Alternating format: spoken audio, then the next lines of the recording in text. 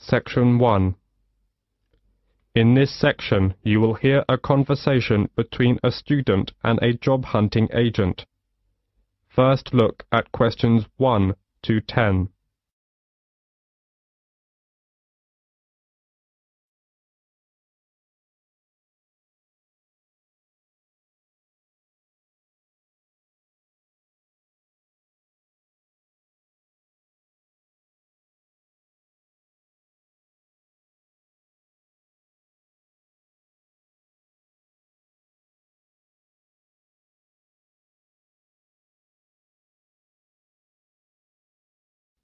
Now we shall begin.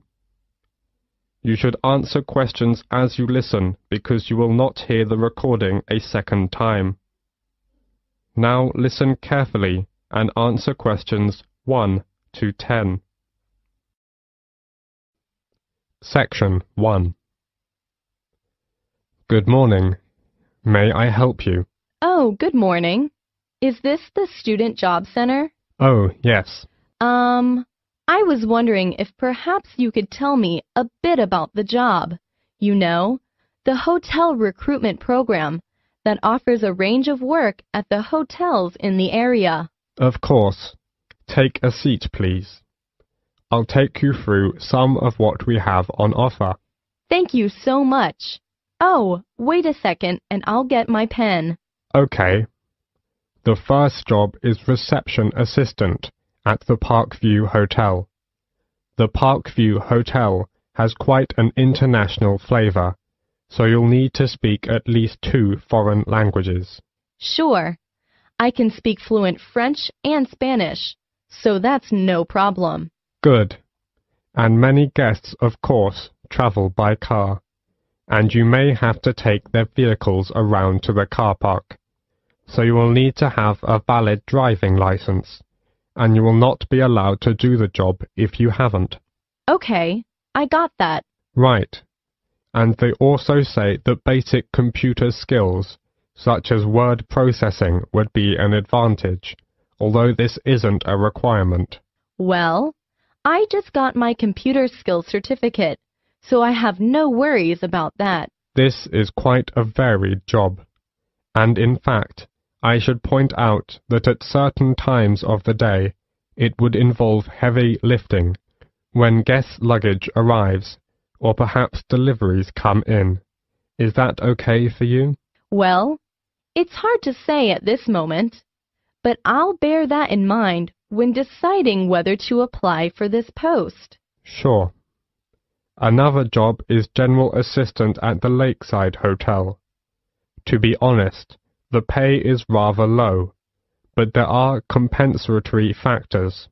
For example, the hotel will provide you with all your meals while you're working, and they will also train you in all the aspects of the job and then issue you with a certificate, which, of course, could be very valuable to you in the future. Oh, that sounds great. Now, the third job on offer is catering assistant at Hotel 98's smart new premises. As you know, this hotel is popular with exclusive travelers, and so you'll need to wear the distinctive staff uniform which you're provided with. Don't consider this job unless you're fairly flexible about when you work, as the hotel will require you to work nights for this job and you will need to travel to and from the hotel, as it is situated just outside the city. Well, I'm afraid I can't manage that because of the lectures. Okay, I get the picture. So, which one will you prefer? Reception assistant at the Parkview Hotel or general assistant at the Lakeside Hotel? Well, I guess I still couldn't make up my mind right now. Can I have a few days to think about and go back to you later? That's no problem, and there are a few things I need to clarify with you. If you would like to apply for one of these jobs, you will need to follow the recruitment process. Mum. So the first thing you'll need to do is to fill in one of these, a personal information form. It's pretty straightforward and should only take you a few minutes. Once you've done that and handed it in, we'll give you a questionnaire about your skills. We then look through the information about you and pass on our recommendations to the relevant hotel. Yes, sure. You will then proceed to the next step of the process and attend a general course of training. This is designed to be helpful and realistic, so an important part of the course is role-play activities. That sounds interesting. Yes, indeed. And after that, the final step is that you will be contacted by the hotel you're going to work for, and they'll post you a video about themselves and the work involved. Watching this will constitute further and specific training for your job. Oh, yes. I think I'm very clear now. Thank you for helping me. It's a pleasure. Bye. Bye. This is the end of section 1. You now have half a minute to check your answers.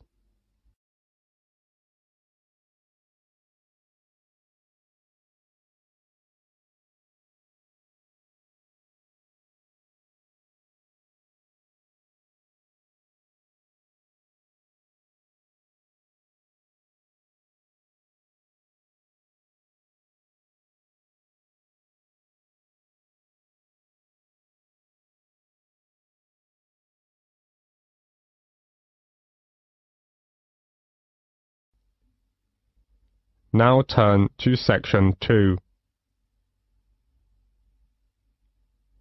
You will hear a doctor from a medical center giving some information about the center. As you listen, answer questions 11 to 20.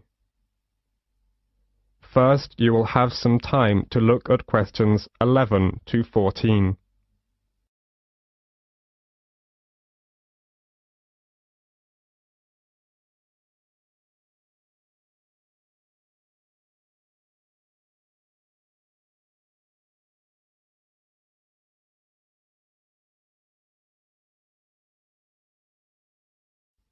As you listen, answer questions 11 to 14.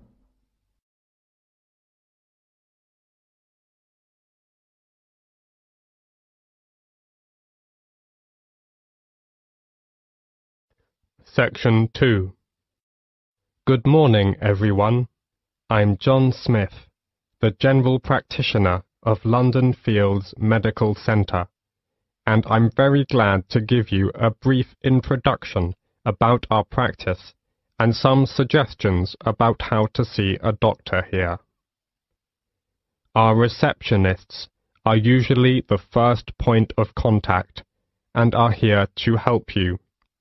They have a lot of information to hand, and in most cases will be able to help you with your inquiry, ensuring you see the most appropriate clinician. Okay, right. Well, the first thing to do is to register.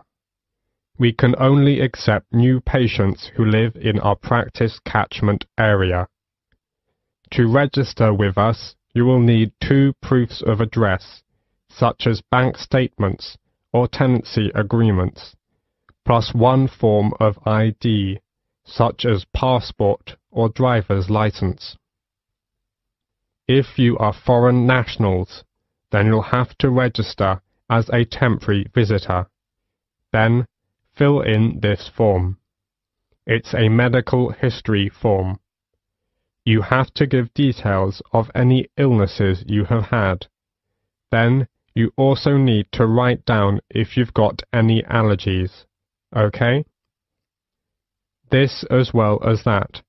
We need to know if you've had any operations. And, last of all, you have to give full details of current medication you may be on. This as well as that you need to fill in this registration card. This is for your personal details. That's your full name, address, and telephone numbers. Okay? And we also need to make an appointment for you to see the doctor for a new patient health check. It'll just take about 15 minutes, that's all. It's just a basic checkup, really. Before the speaker goes on with his introduction, look at questions 15 to 20.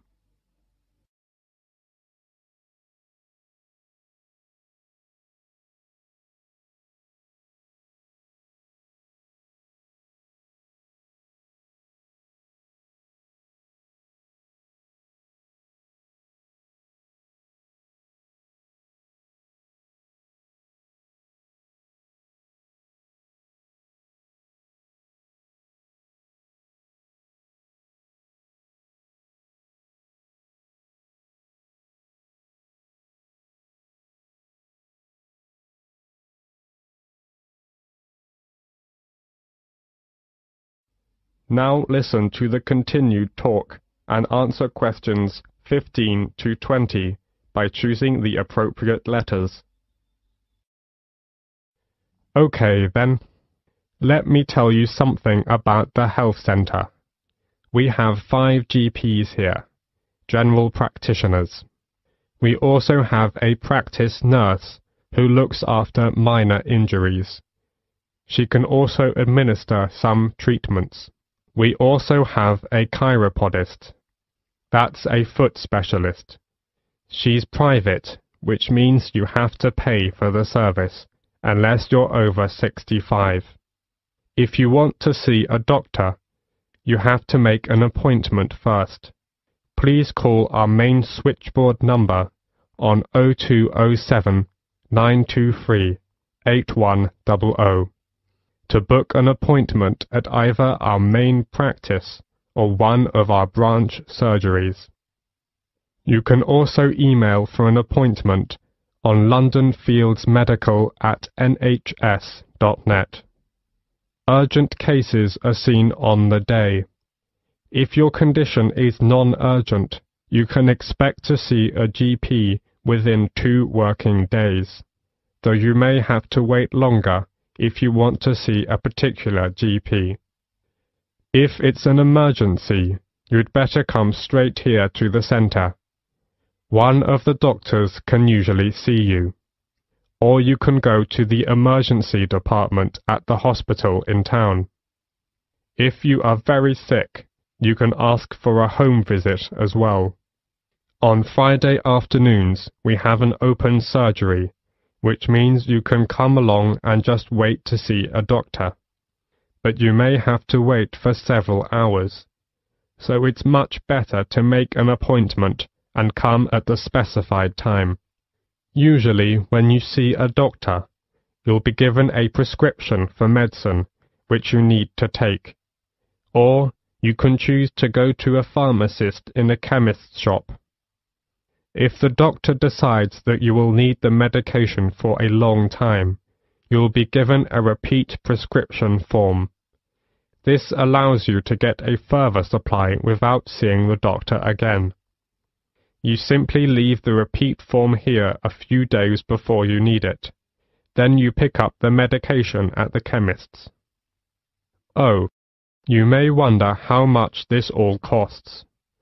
Well, there is no charge for seeing a doctor. You can make an appointment any time to see one of our doctors, and it will not cost you anything for the consultation. However, you need to pay for the prescription, and the cost varies with the medicine, but it's usually just a few pounds. Nevertheless, in some situations, such as pregnancy, the prescription is then free. All right, do you have any other questions? That is the end of section 2. You will have half a minute to check your answers.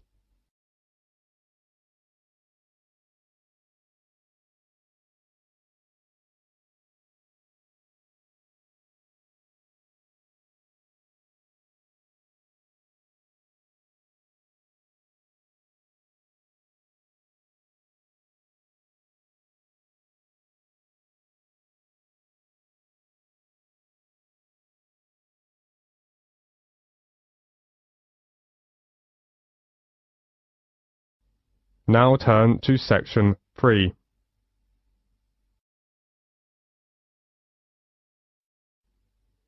In a moment, you are going to hear a conversation between a professor and his student Alicia.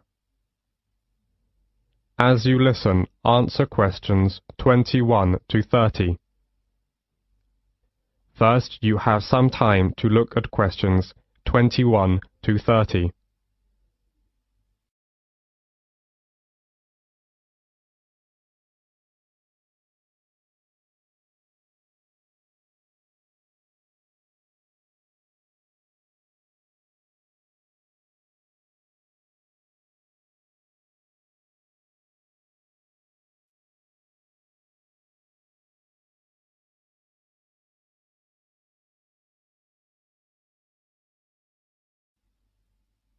Now, listen carefully to the conversation and answer questions 21 to 30. Section 3 Until recently, we knew almost nothing about how important bees are in maintaining natural diversity. Now we know more about them. We know, for example, that bees fall into two categories wild bees and domesticated honeybees.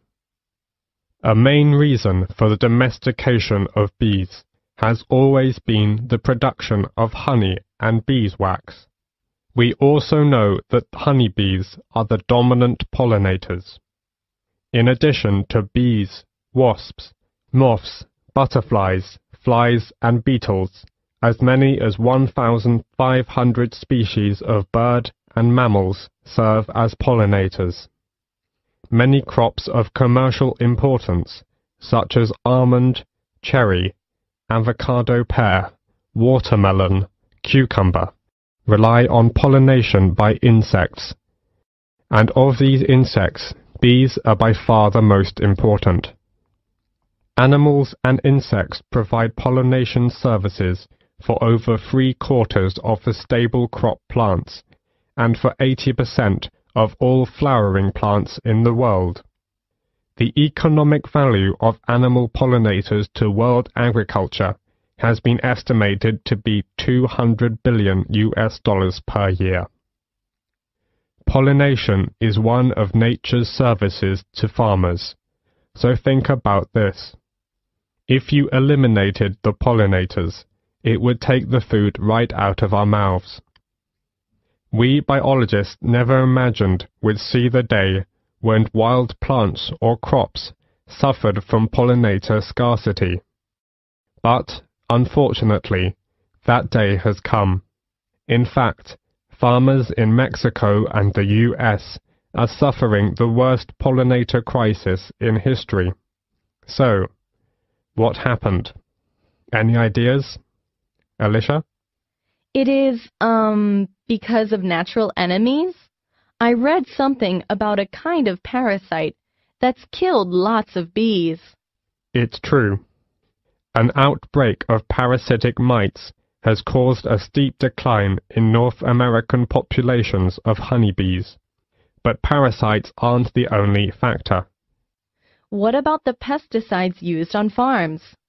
All those chemicals must have an effect. Most definitely, yes. Pesticides are a major factor. Both wild and domesticated bees are in serious trouble because of pesticides. In California, farm chemicals are killing around 10% of all the honeybee colonies. Agriculture in general is part of the problem. Another example is the monarch butterfly. Millions of monarchs from all over the US and southern Canada fly south every year in late summer. The monarch is the only butterfly that returns to a specific site year after year.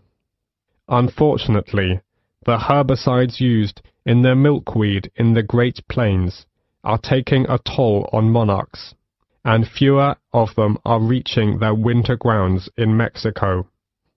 In a recent field study at Cornell University in the US, it was found that monarch butterfly caterpillars eating corn toxic pollen blown onto milkweed plants near cornfields had suffered significant adverse effects, leading to death of nearly 20% of the caterpillars. Wow, 20%! That's so tragic. And it's more than that. There are over 1,500 species of butterflies in the Indian subcontinent, but their population is dwindling because of environmental changes. Many man-made environmental changes like deforestation, extension of farming, and unrestricted urbanization are threatening some species of butterflies to extinction by destruction or disturbance of their larval as well as adult food plants, feeding grounds and shelters. Many of the most spectacular and endangered species have various levels of protection under local legislation. However, there is a major trade in the spectacular tropical species for incorporation in ornaments and souvenirs. The international demand for insects is greater than most people realize. Yes, indeed.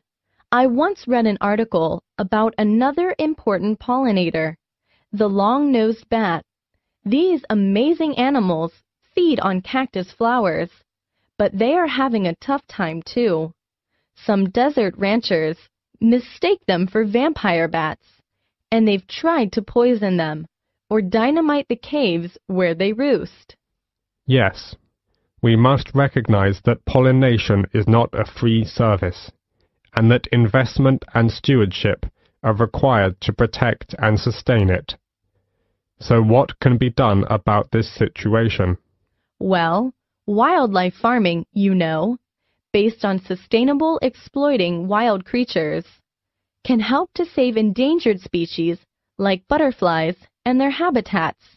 Besides, gardeners, orchard growers, farmers, and urban dwellers can switch to more pollinator-friendly organic methods of cultivation to reduce wildlife exposures to insecticides, herbicides, and fungicides. That's right. Actually, the focus on beekeeping needs to change from conventional honey production to crop pollination. That is the end of section 3. You now have half a minute to check your answers.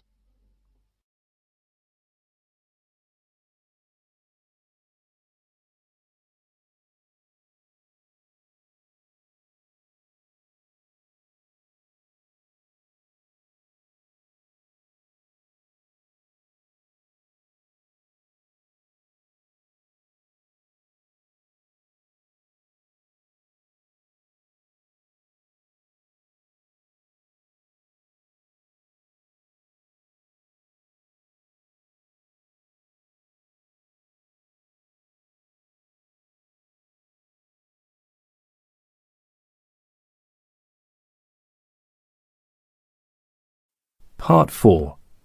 You will hear part of a lecture about social importance of sports. First, you have some time to look at questions 31 to 40.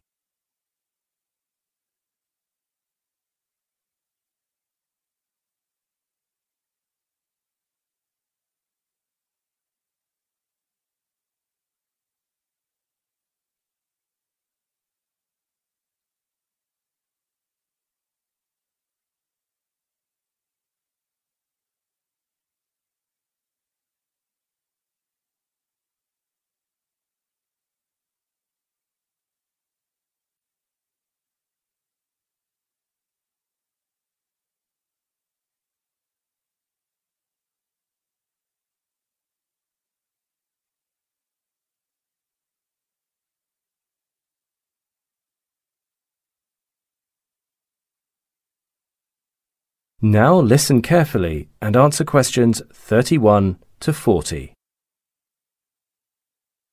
As we know, sports have become increasingly popular in recent decades. Historically, many sports were only for the wealthy and privileged, but now certain games, such as football and basketball, have become available to ordinary people. They are now being taught in schools and at local clubs. One reason that sport has become so widely popular is that they involve a large percentage of the population, drawn from all around the country, creating excitement and anticipation for the event. Also, in recent times, sport has played a huge role in many large sectors of the economy, such as fashion. They often go hand in hand. Certain brand names of sports clothing have become increasingly popular, creating a multi-million dollar industry. Everywhere you go, people proudly wear such brand names. From being merely clothing for sports players, these brands have now become must-haves for this season's wardrobe. Since sport is becoming ever more competitive, with international events such as the Olympics being held here regularly, there is a drive to create better products used in sports. For instance, new material is being created for sports clothing and other equipment to reduce drag and improve the efficiency of the players. The technology incorporated in these is of a high standard. Playing sports is a healthy activity with different sports suitable for all ages, from the very young to those getting on in years. To improve the overall health of the nation and to create a greater sense of community involvement, governments in many countries aim to increase their citizens' participation in sports. In some areas, there are even incentives for taking part in sporting activities. For example, with cinemas handing out free tickets to those involved. Sports can be very competitive, and although some experts warn that a spirit of competition isn't healthy, many agree that this competitive spirit can actually contribute to a greater feeling of achievement. With such a positive effect, Many therapists recommend sport as a way to improve mental health, and many participate with this focus in mind. Of course, the media has had an enormous impact on sports. The rise in popularity of uncommon sports like underwater hockey and parkour is fueled by the increasing availability of satellite television. However, this can unfortunately lead to personal injury and sometimes even loss of life, as more people attempt to copy these sports players without the appropriate safety precautions. Digital television has also played a great part in promoting sports. Every part of a sport event can be replayed and analyzed. For example, controversial or exciting moments in each game can be filmed from different angles. Certain feats can also be presented in a more impressive way than they really are.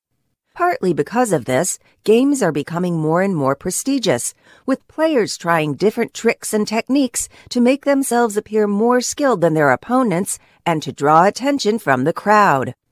People often learn about sports through television and the internet. Many feel it is easier to remember certain elements they have learned from a visual source rather than learning from a book, the traditional way of studying.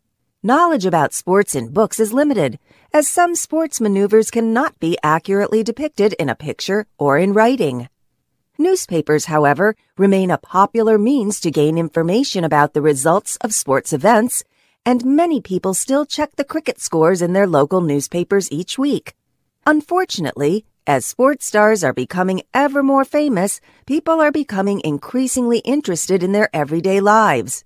The newspapers often publish articles about them, including personal details that the players may not want shared with the public. There needs to be a greater respect for the privacy of these individuals. With sports becoming more available to all, now is a good time to join a local team or just spend some time playing a cricket match or a game of football with friends. This can improve your own fitness and lead to greater quality of life for you and your whole family. That is the end of part four. You now have one minute to check your answers to part four.